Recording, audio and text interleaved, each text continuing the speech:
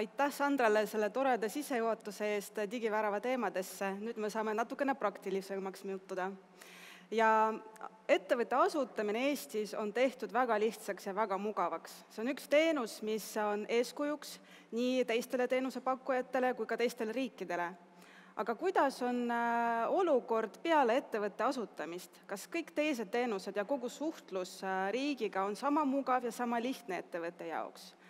Meie uuringud näitavad, et see päris nii ei ole. ja selleks, et sellest lähemalt rääkida, tutvustan ma teile väljamõeldud, aga sellegipoolest üsnagi tavapärast äh, ettevõtjat, kelle nimi on Taavi. Taavi tegeleb puidumööbli tootmisega, tal on mikroettevõte Äh, mis kasvas välja hobist ja ta on üsna väike ja sellepärast ei ole tal iga tegevuse jaoks äh, eraldi inimest.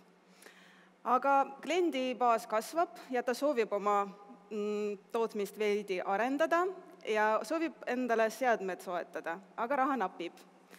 ja tuttav soovitab talle otsida toetust riigilt ta ei tea, kust otsida, kuhu minna, ta guugeldab, võib-olla helistab asutustesse, võib-olla ta leiab toetusvormi, mida ta-, täita, aga lõppkokkuvõttes on tal sõber, ettevõtja, kes, kes aitab selle protseduuri lõpuni viia.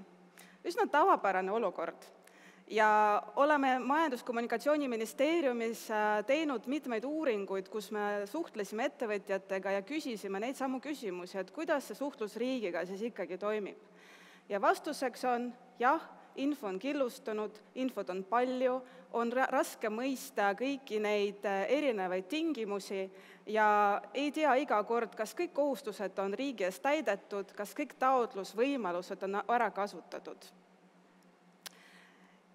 Ja sellepärast on meilgi olemas ettevõtja digivärava kontseptsioon. Äh, selle eesmärk on siis tuua eesti.ee keskkonda ähm, äh, sellist kontaktpunkti, Äh, mille kaudu saab ligipääsu erinevatesse riigi ähm, e-teenuskeskkondadesse ilma uuesti sisse logimata. selle jaoks me teeme koostööd meie suur partner Riigi Infosüsteemi Amet ja suhtleme ka erinevate asutustega, kellel on olemas juba oma äh, e-teenused, selleks, et välja mõelda, kuidas ka nende teenuseid veidi lihtsustada ja, ja mm, teha kes-, kasutajasõbralikumaks, et seda personaalsust saavutada. meie teekaardil on siis kümme erinevat IT-projekti, mis kõik keskenduvad erinevatele äh, ärisündmustele, mis ettevõtte elukaardil võivad äh, juhtuda. seal on teemad nagu ettevõtja, äh, ettevõtte töötajatega seotud teenused, ettevõtte kohustused riigi ees, aga ka toetused ja meie fookuseks on äh, ikkagi äh, leida lahendusi ettevõtjate probleemidele. Äh, kaasaegsed tootearendusmeetodid, mis, mis kaasavad kasutajad, sellel juhul ettevõtjad, aitavad meil seda fookust hoida. me ei täida kõiki ettevõtjate soove, aga me otsime neid vajadusi ja neid la-, neid probleeme, mida me lähme lahendama oma, oma rakendustega aga tuleme tagasi Taavi juurde ja tema probleemi juurde. kuidas siis äh, ettevõtja tegevarav, kuidas eesti.ee saaks tema probleemis abiks olla? Ja sinna näiteks on üks äh, nendest äh, rakendusest, mis meil praegu arendusfaasis on, selle nimi on ettevõtte rahastusvõimalused, ettevõtja logib sisse eesti.ee-sse ning äh, näeb ülevaate kõikidest need toetusmeetmetest, mis, äh, mis tema ettevõtte suurusele, tema tegevusalale ja ka finantsseisule võiksid sobida. Äh, ta võib valida nimekirjast toetust, mis võib-olla võiks talle sobida, läheb samas aknast vaatama, millised tingimused on sellel toetusel ja sealtsamast ka liikuda juba vastava asutuse e-teenuskeskkonda, et neid taotlusi täita jällegi ilma uuesti sisse logimata. See on meie esialgne versioon, see on prototüüp, millega me loodame järgmise aasta alguses juba laivi minna, et hakata ettevõtjate äh, tagasisidet ka küsida. aga samas me mõtleme ka tuleviku peale. Ja mis äh, tulevik meie jaoks tähendab, on see, et me loome seda veel personaalsemaks ja veel äh, ettevõtjakesksemaks siin tuleb abiks, ad, a, abiks meile äh, andmepõhine aruandlus, ehk siis, kui ettevõtja teeb oma andmed korda ja esitab kvaliteetsed andmed riigile, siis me saame neid teenuseid teha võimalikult proaktiivseks ja võimalikult personaalseks. unistame, näiteks tuleb teate ettevõtjale, et siin on see toetus, mis võiks sulle sobita, sobida. me täitsime vormi ka juba ära, sa pead ainult üle vaatama ja kinnitama. on ju tore? nii et teeme andmed korda ja naudime neid proaktiivseid ja personaalseid teenuseid, mida riigil meile pakkuda on. aitäh!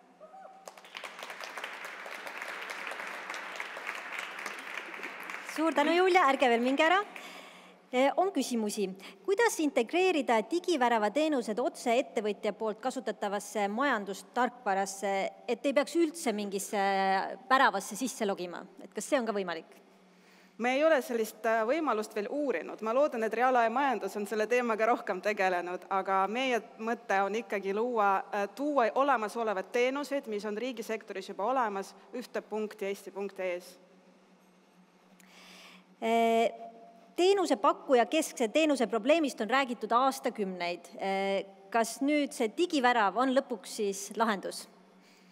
no see on üks tee sinnapoole jah, aga nagu ma mainisin, siis äh, selleks, enne nende teenuste liidestumist Eesti.ee keskkonnaga me tegelikult vaatame need teenuseid hoolikalt läbi ja otsime, kuidas neid teha lihtsamaks, kuidas neid võib-olla teha kasutajasõbralikuks, et seda nagu kogu kontseptsiooni toetaks ka teenused ise siis on selline üks eh, väike huumoriküsimus.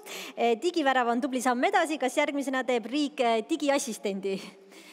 miks ka mitte aitäh.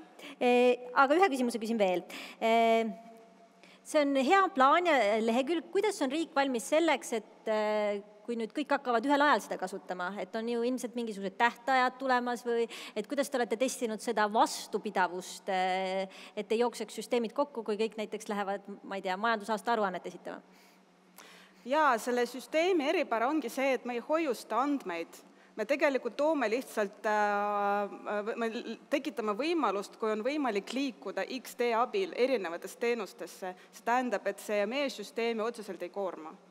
Ja lõpetuseks siis üle korrata, millal seda saab päriselt kasutama hakata, millal selline algversioon ja millal täisjõuga tööle läheb? me jõuame aastal kaks tuhat kakskümmend viis selliste algprojektidega lõpuni, aga juba praegu need, mis laivi minemas, nende jaoks me teeme ka jätkuarendusi, jätkuanalüüsi, mul on raske öelda, millal see juhtub, aga loodame, et, et üsna varsti. parem varem kui hiljem, aitäh, Julia! aplaus Juliale!